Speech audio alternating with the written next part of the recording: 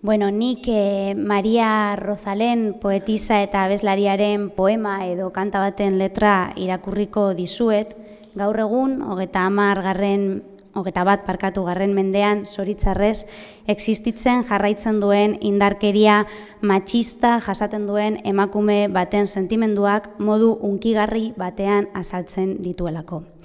Una niña triste en el espejo me mira, prudente y no quiere hablar. Hay un monstruo gris en la cocina que lo rompe todo, que no para de gritar. Tengo una mano en el cuello que con sutileza me impide respirar. Una venda me tapa los ojos, puedo oler el miedo y se acerca. Tengo un nudo en las cuerdas que ensucia mi voz al cantar. Tengo una culpa que me aprieta, se posa en mis hombros y me cuesta andar. Pero dibujé una puerta violeta en la pared, y al entrar me liberé, como se despliega la vela de un barco. Desperté en un prado verde, muy lejos de aquí.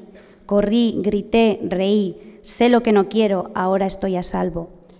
Una flor que se marchita, un árbol que no crece porque no es su lugar, un castigo que se me impone, un verso que me tacha y me anula. Tengo todo el cuerpo encadenado, las manos agrietadas, mil arrugas en la piel, las fantasmas hablan en la nuca, se reabre la herida y me sangra. Hay un jilguero en mi garganta que vuela con fuerza.